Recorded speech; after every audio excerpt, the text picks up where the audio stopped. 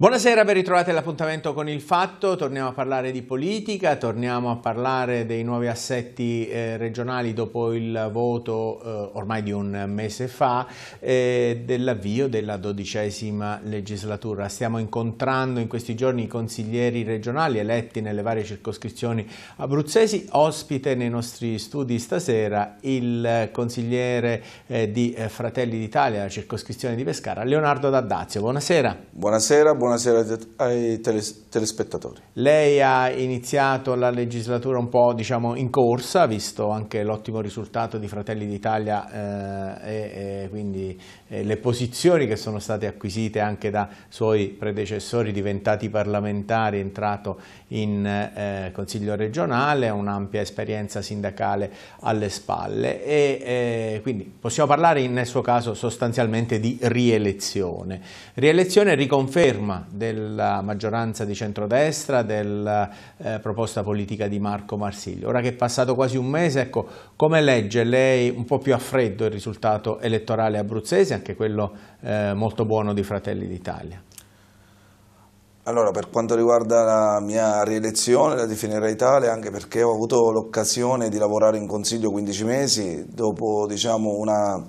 candidatura nel 2019 definita anche da me stesso di servizio in quanto mi candidai all'ultimo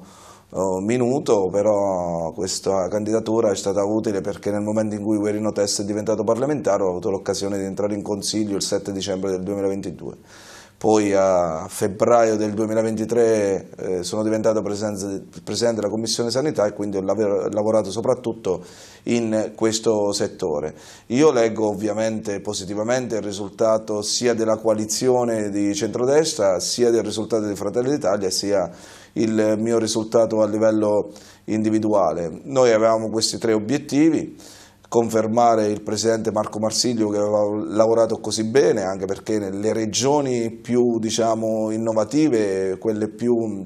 che vanno diciamo, meglio, tipo il Veneto o altre regioni, hanno bisogno di continuità, i cittadini abruzzesi hanno capito questo e hanno dato la conferma sul lavoro svolto dalla giunta di Marco Marsiglio e di tutto il Consiglio regionale. Avevamo il secondo obiettivo, quello di far diventare per la prima volta in Consiglio regionale Fratelli d'Italia il partito con più rappresentanti all'interno del Consiglio, abbiamo eletto otto consiglieri, due per provincia e questo è motivo ovviamente di soddisfazione, può essere sicuramente una filiera positiva perché avere eh, sia la Regione che, mm, che eh, diciamo, eh, l'Italia come Presidente della, del Consiglio Giorgia Meloni, dello stesso partito del nostro Presidente Marco Marsiglio, aiuta a dialogare. Infatti mm, quando sono stato presente in Consiglio ho visto concretamente i risultati che abbiamo ottenuto accelerando su questioni molto importante. Su, a livello individuale, dopo quell'esperienza diciamo, di servizio, ho fatto una candidatura vera,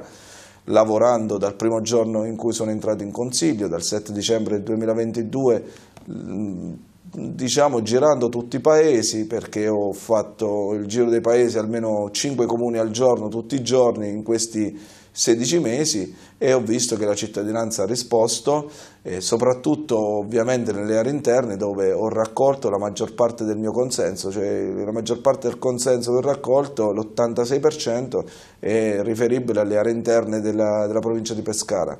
Ed è per me motivo di, di soddisfazione anche perché è un'elezione storica, lo voglio sottolineare perché nel mio paese a Penne non c'è stato mai un consigliere regionale eletto in prima battuta, abbiamo avuto occasioni magari in corsa eh, in precedenza e quindi ovviamente questo mi inorgoglisce eh, ma nello stesso tempo mi carica di responsabilità perché è ovvio che la cittadinanza vestina ma anche quella della Valpescara si aspettano molto dalla mia presenza ma questo equivale anche ovviamente per tutta la regione Abruzzo perché non possiamo limitarci ad avere un'azione politica solo nel collegio in cui siamo stati eletti, quindi in provincia di Pescara, ma in tutta la regione. È fondamentale che i consiglieri regionali abbiano una visione completa della regione e che siano attivi in tutte le province, onde evitare magari campanilismi che molte volte in consiglio negli ultimi tempi soprattutto ci sono stati, quindi eh, io spero che ci sia una fattiva collaborazione anche con, con la minoranza perché comunque sia eh, anche negli ultimi tempi c'erano state anche azioni sinergiche con loro in alcune occasioni e hanno avuto diciamo, dei risultati positivi. Abbiamo approvato anche eh, leggi importanti con questa collaborazione perché dico sempre che un risultato ottenuto non è un risultato ottenuto per una fetta di cittadini, ma si, diciamo, si rispecchia su tutta la popolazione abruzzese, sia di chi ha votato il centrodestra, sia di certo. chi ha votato il centrosinistra e anche di chi purtroppo che rappresenta il partito più grande della regione, cioè quella che invece non si è recata alle urne. Sì, sì. Noi dobbiamo cercare di avvicinare questa fetta di popolazione a interessarsi di politica. Allora, D'Addazio, eh, la legislatura che inizia proprio dopodomani, eh, ecco, prendo spunto proprio da una parte della sua risposta, potrebbe essere anche quella che eh, porterà ad una nuova legge elettorale, un cambiamento di prospettiva come eh, proposto dal Presidente Marsilio già da tempo e l'ho chiesto anche a tutti coloro che eh, sono stati ospiti di questa trasmissione in questi giorni. Potrebbe essere questa eh, davvero l'occasione, soprattutto nei primi mesi della legislatura, perché poi ci si avvicina troppo alle elezioni successive, insomma l'occasione per una, eh, una discussione franca ma anche un cambiamento della legge elettorale? Ah, guardi, io sono sinceramente in linea con eh, la proposta del Presidente Marco Marsini, ma non perché sono di Fratelli d'Italia, ma perché, come dicevo anticipatamente, credo che il consigliere regionale debba essere espressione di tutta la regione e non solo di una provincia. È ovvio che il lavoro sarà eh, più difficile perché soprattutto nei mesi della campagna elettorale dove si vanno a toccare tutti i comuni di una provincia e girare per tutta la regione sarebbe più difficoltoso, ma è giusto misurarsi in tutta la totalità della regione Abruzzo, quindi favorevolissimo a questo, favorevole anche al fatto di doverlo fare nei primi mesi della,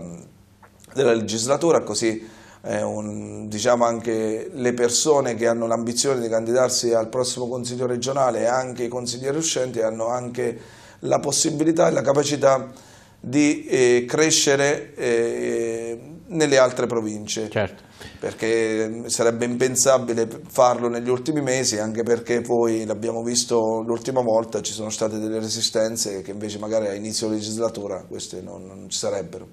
Ehm, proprio eh, parlando della sua storia, ho accennato anche al suo impegno sindacale, le chiedo, eh, non posso fare diversamente, se ha delle ambizioni particolari rispetto a quello che sarà l'assetto della nuova governance regionale che si sta definendo proprio in queste ore alla vigilia del primo eh, Consiglio. Eh, cosa piacerebbe fare a Leonardo D'Addazio, che ha già fatto appunto Presidente della Commissione Sanità, che non è un ruolo facile perché insomma lì passa gran parte eh, del bilancio eh, della regione, scelte importanti, ha seguito il mondo del lavoro. Su cosa eh, insomma, lei si rende un po' più disponibile e pensa di avere le competenze adatte per eh, essere, utili, essere utile alla legislazione regionale? Allora, la Presidenza della Commissione Sanità non si occupa solo di sanità, si è occupata anche di lavoro, di formazione, sicurezza sociale, sport, cultura, quindi è una commissione che si occupa, come diceva lei, di, di molto del bilancio regionale, circa il 70% delle leggi regionali passano dalla quinta commissione, è stato per me un onore presiederla perché effettivamente è una commissione molto importante. Ambizioni eh, ne ho, eh, per il momento le tengo per me, però dal mio punto di vista ho già parlato con il partito più che altro per mettermi a disposizione per qualsiasi ruolo loro pensano che io sia in grado di svolgere. È ovvio che ho delle competenze maturate ne, nel tempo perché non solo sindacalista, ma eh, io ci tengo sempre a dirlo che la mia esperienza eh, lavorativa è un po' diversa rispetto a quella che hanno avuto gli altri politici. Ho fatto due anni il cameriere, cinque anni il bracciante agricolo e 23 anni l'operaio, conosco benissimo il mondo del lavoro, poi con il sindacato ho avuto modo di seguire in particolare alcuni settori, energia, chimica e soprattutto moda, eh, che è in una fase eh, di rilancio. È ovvio che il mondo del lavoro è un mondo che mi affascina e dove io mm, penso di avere quelle competenze magari anche diverse da, da altri avendolo vissuto in, in, prima persona. Infatti nel settore moda mi piace ricordare una di quelle leggi che ho fatto come penne città della sartoria artigianale per anche attirare imprenditori che volessero confezionare abiti di alta moda eh, facendo capire che l'area vestina in generale eh, ha delle competenze ed eccellenze formidabili in questo campo e le migliori che ci sono in Italia anche, io oserei dire nel mondo e quindi per confezionare un abito alta moda l'invito è di venire nella regione Abruzzo e insediarsi per fare un prodotto di, di qualità. Eh, il tempo corre, abbiamo soltanto 4 minuti e mezzo e il tempo della politica corre tantissimo da Dazio perché Già siamo in campagna elettorale per le amministrative, io su questo voglio sentirla perché in provincia di Pescara ci saranno eh, Pescara, Montesilvano, ma anche Città Sant'Angelo, altri comuni che sono anche più vicini alla sua zona elettorale di riferimento. C'è stato eh, un risultato eh, sulle regionali indicativo di una prevalenza generale del eh, centrodestra ma anche di un centrosinistra, in particolare del PD piuttosto vitale. Che battaglia sarà quella dei eh, primi di giugno?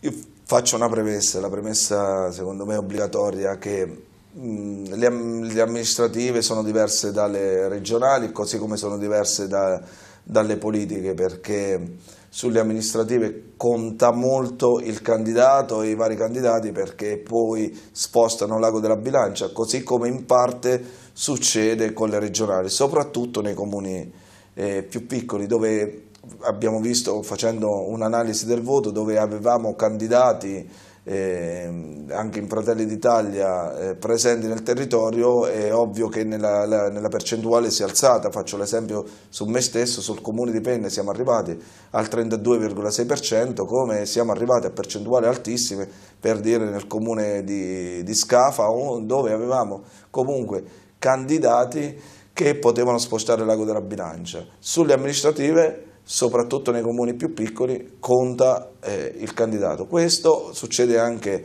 a Pescara perché abbiamo visto che c'erano tanti amministratori, consiglieri in carica, assessori in carica che sono scesi in campo e questo ha fatto sì che sia un risultato diverso rispetto all'indicazione ideologica magari che ci può stare o del voto di opinione perché la performance per esempio di Blasioli che prende 5.000 voti su eh, Pescara non può essere solo una componente eh, diciamo, eh, legata al PD ma anche il lavoro magari svolto dal, dal consigliere uscente. Quindi oggi io invece vedo un, una situazione per esempio su Pescara dove il centrodestra punta a vincere al primo turno mentre le altre due coalizioni i due candidati sindaci puntano ad arrivare al ballottaggio, quindi la, le condizioni sono diverse, io sono convinto che faremo un ottimo risultato su tutti i comuni chiamati